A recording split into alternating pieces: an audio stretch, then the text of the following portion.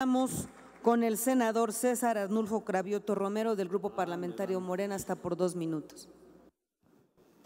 Muchas gracias, Presidenta. Bueno, pues, senadora Kenia López Rabadán, pues sí, este pleno va a perder estridencia, sin lugar a dudas, con tu salida, va a perder volumen con tu partida. Pero bueno, hay otros de tu grupo que seguramente van a, seguir con esa estridencia.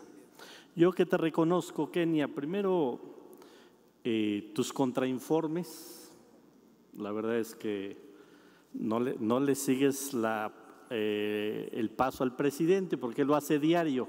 Tú lo hacías una vez a la semana, pero, pero eras constante. Eso hay que reconocértelo, Kenia que todos los lunes estabas con tus contrainformes.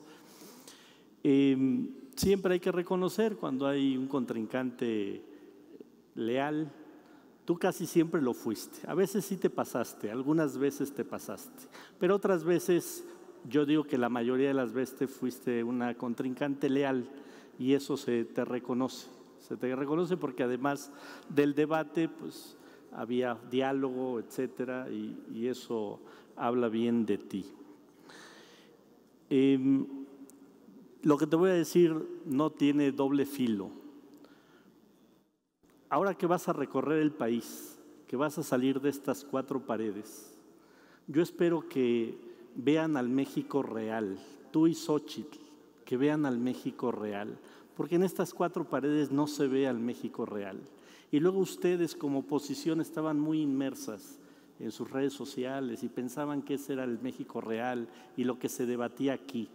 Ojalá que con el recorrido de país que van a tener, verdaderamente pulsen lo que está sintiendo el pueblo de México.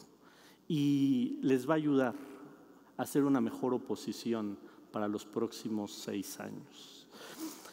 Y bueno, vas a dejar de ser senadora y te vas a convertir en soñadora de un proyecto que va a ser muy difícil que cuaje, pero pues todo mi respeto para ese sueño que tienes.